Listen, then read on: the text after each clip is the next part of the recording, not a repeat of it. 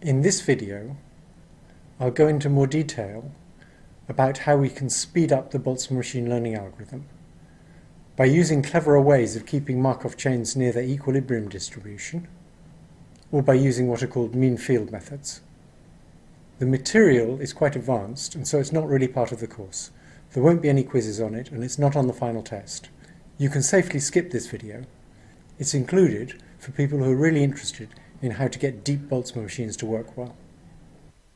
There are better ways of collecting the statistics than the method that Terry Sejnowski and I originally came up with. If we start from a random state, it may take a long time to reach thermal equilibrium. Also, there's no easy tests for whether you've reached thermal equilibrium, so we don't know how long we need to run for. So the idea is, why not start from whatever state you ended up in last time you saw that particular data vector? So we remember the interpretation of the data vector in the hidden units, and we start from there. This stored state, the interpretation of the data vector, is called a particle.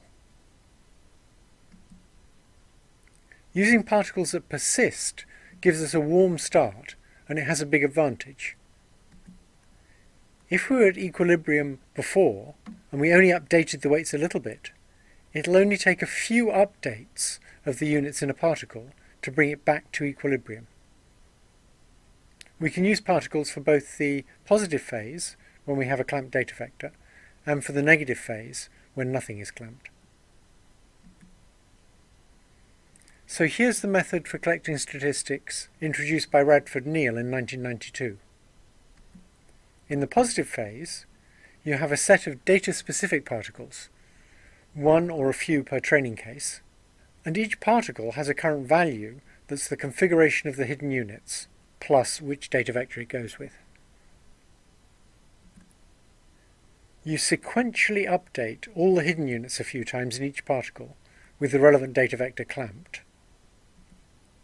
And then for every connected pair of units, you average the probability of the two units being on over all these particles. In the negative phase, you keep a set of fantasy particles. That is, these are global configurations. And again, after each weight update, you sequentially update all the units in each fantasy particle a few times. Now you're updating the visible units as well. And for every connected pair of units, you average SISJ over all the fantasy particles. The learning rule is then the change in the weights is proportional to the average you got with data, averaged over all training data, and the average you got with the fantasy particles when nothing was clamped. This works better than the learning rule that Terry and I introduced, at least for full batch learning. However, it's difficult to apply this approach to mini batches. And the reason is that by the time we get back to the same data vector, if we're using mini batch learning, the weights will have been updated many times. So the stored data-specific particle for that data vector won't be anywhere near thermal equilibrium anymore. The hidden units won't be in thermal equilibrium with the visible units of the particle, given the new weights. And again, we don't know how long we're going to have to run for before we get close to equilibrium again. So we can overcome this by making a strong assumption about how we understand the world. It's a kind of epistemological assumption. We're going to assume that when a data vector is clamped, the set of good explanations that is, states of the hidden units that act as interpretations of that data vector, is unimodal. That means we're saying that for a given data vector, there aren't two very different explanations for that data vector. We assume that for sensory input, there's one correct explanation, and if we have a good model of the data, our model will give us one energy minimum for that data point. This is a restriction on the kinds of models we're willing to learn. We're going to use a learning algorithm that's incapable of learning models in which a data vector has many very different interpretations. Provided we're willing to make this assumption, we can use a very efficient method for approaching thermal equilibrium or an approximation to thermal equilibrium with the data. It's called a mean field approximation. So if we want to get the statistics right, we need to update the units stochastically and sequentially.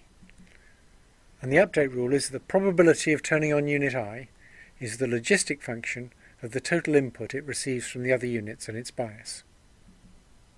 Where Sj, the state of another unit, is a stochastic binary thing. Now instead of using that rule, we could say we're not going to keep binary states for unit i. We're going to keep a real value between 0 and 1, which we'll call a probability. And that probability at time t plus 1 is going to be the output of the logistic function, when what you put in is the bias and the sum of all the other probabilities at time t times the weights. So we're replacing this stochastic binary thing by a real value probability. And that's not quite right because this stochastic binary thing is inside a nonlinear function. If it was a linear function, things would be fine. But because the logistic's nonlinear, we don't get the right answer when we put probabilities instead of fluctuating binary things inside. However, it works pretty well. It can go wrong by giving us biphasic oscillations because now we're going to be updating everything in parallel. And we can normally deal with those by using what's called damped mean field, where we compute that pi of t plus 1, but we don't go all the way there. We go to a point in between where we are now and where this update wants us to go.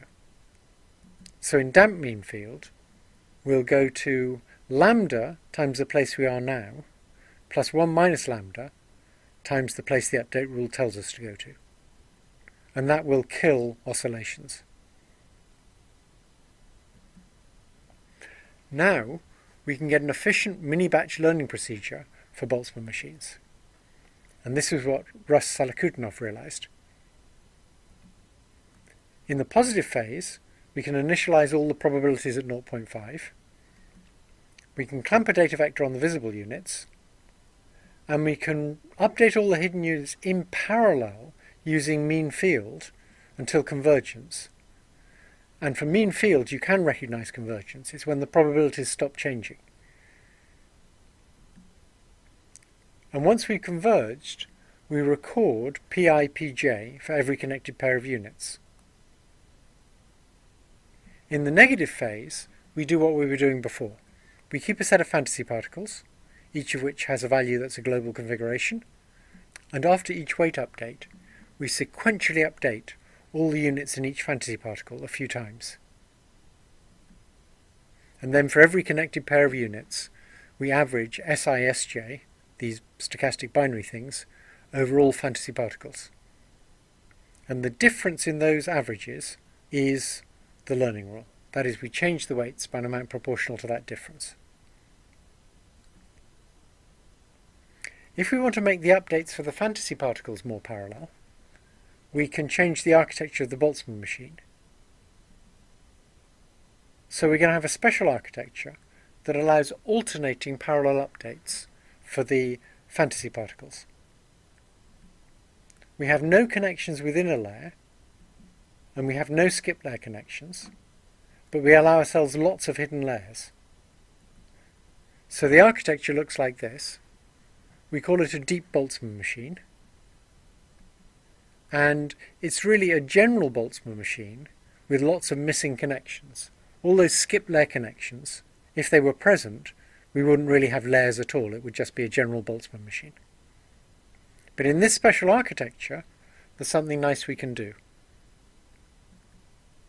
we can update the states of, for example, the first hidden layer and the third hidden layer, given the current states of the visible units and the second hidden layer. And then we can update the states of the visible units and the second hidden layer, and then we can go back and update the other states, and we can go backwards and forwards like this, and so we can update half the states of all the units in parallel, and that'll be a correct update. So one question is, if we have a deep Boltzmann machine like that, trained by using mean field for the positive phase, and updating fantasy particles by alternating between even layers and odd layers for the negative phase, can we learn good models of things like the MNIST digits, or indeed of more complicated things? So one way to tell whether you've learned a good model is after learning, you remove all the input and you just generate samples from your model. So you run the Markov chain for a long time until it's burned in, and then you look at the samples you get. So Russ Salakhutdinov used a deep Boltzmann machine to model MNIST digits using mean field for the positive phase and alternating updates of the layers of the particles for the negative phase. And the real data looks like this, and the data that he got from his model looks like this. You can see they're actually fairly similar. The model is producing things very like the MNIST digits, so it's learned a pretty good model. So here's a puzzle. When he was learning that, he was using mini batches with a hundred data examples, and also he was using a hundred fantasy particles. The same hundred fantasy particles for every mini batch. And the puzzle is, how can we estimate the negative statistics well with only a hundred negative examples to characterize the whole space? For all interesting problems, the global configuration space is going to be highly multimodal. And how do we manage to find and represent all the modes with only a hundred particles? There's an interesting answer to this. The learning interacts with the Markov chain that's being used to gather the negative statistics, i.e. the one that's used to update the fantasy particles, and it interacts with it to make it have a much higher effective mixing rate. That means we cannot analyze the learning by thinking of there being an outer loop that updates the weights, and an inner loop that gathers statistics with a fixed set of weights. The learning is affecting how effective that inner loop is. The reason for this is that whenever the fantasy particles outnumber the positive data, the energy surface is raised, and this has an effect on the mixing rate of the Markov chain. It makes the fantasies rush around hyperactively, and they move around much faster than the mixing rate of the Markov chain defined by the current static weights. So here's a picture that shows you what's going on. If there's a mode in the energy surface that has more fantasy particles than data, the energy surface will be raised until the fantasy particles escape from that mode. So the mode on the left has four fantasy particles and only two data points. So the effect of the learning is going to be to raise the energy there. And that energy barrier might be much too high for our Markov chain to be able to cross, so the mixing rate will be very slow but the learning will actually spill those red particles out of that energy minimum by raising the minimum.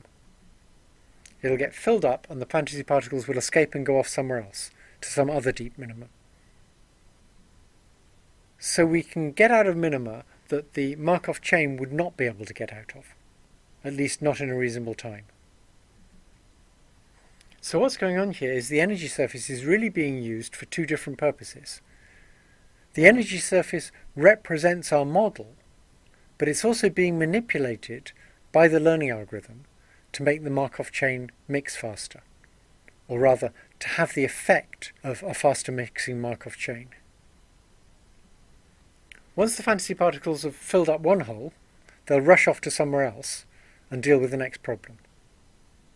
An analogy for them is that they're like investigative journalists who rush in to investigate some nasty problem, as soon as the publicity has caused that problem to be fixed, instead of saying, okay, everything's okay now, they rush off to find the next nasty problem.